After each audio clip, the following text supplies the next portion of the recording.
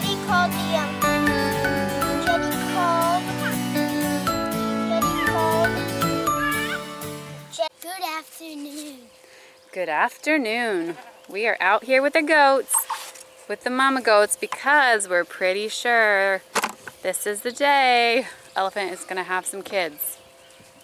So we're pretty excited. She's not really wanting to come out of there, but she came, hey Wes, why don't you back up a little bit? She came out for a minute, Oh, oh, fluid, fluid, and there's part of her water sac is, Where is, where is the fluid? Look right here. Coming. part of her water sac is coming out, so we're pretty sure So, today's the day. so see that orange little bit? We should probably give her a little bit of space, but it is exciting. Well, we're gonna- to do something. We'll keep you posted. Kids are ready for the show. They set up chairs. You gonna sit here till they're born? How many do you think there are? Triplets.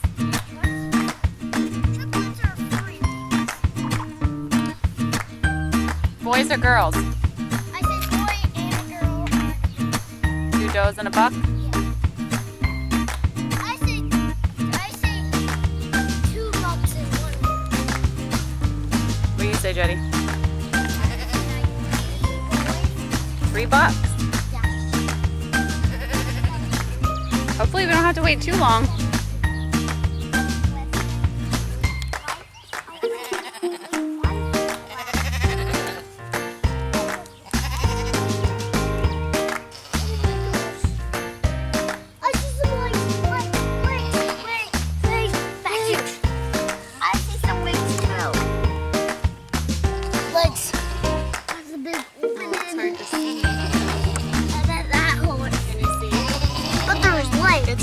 Kind of dark. I can't see though. I'm gonna flip it. Okay. Need to help you? Oh, Ellie. Here, I'll help you. This way? Look, legs, legs, legs. That you can see. See the head. See the head? Mama. Oh, I see the head. I see the head too. Oh, Oh, the mouth. you. We saw the mouth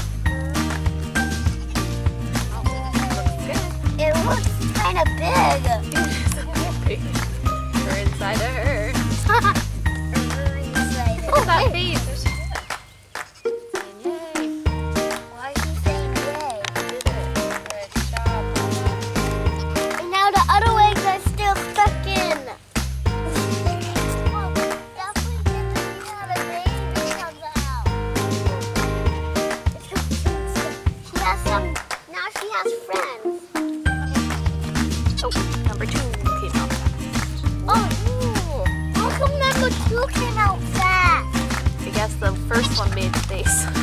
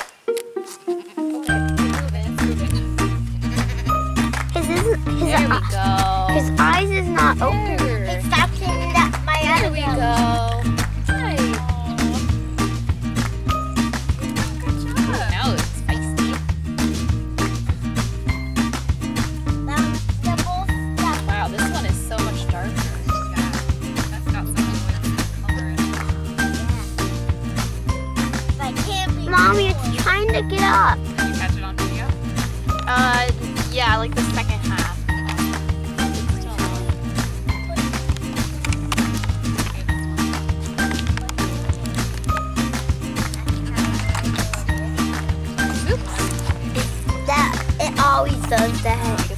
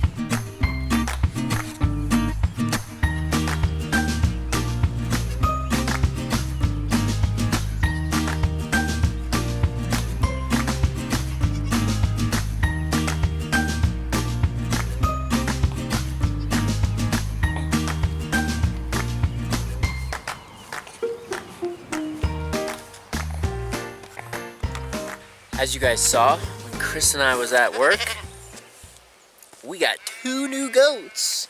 This is super exciting. Elephant gave birth to two brand new does and they are super strong and I can't believe I missed it but it was exciting hey back up back up back up Missy here is being a little bully hey behave I think she feels threatened from elephants elephant's kids and she's been a little bully to them but I'm sure that's just hierarchy going um, but they are healthy. They're nursing.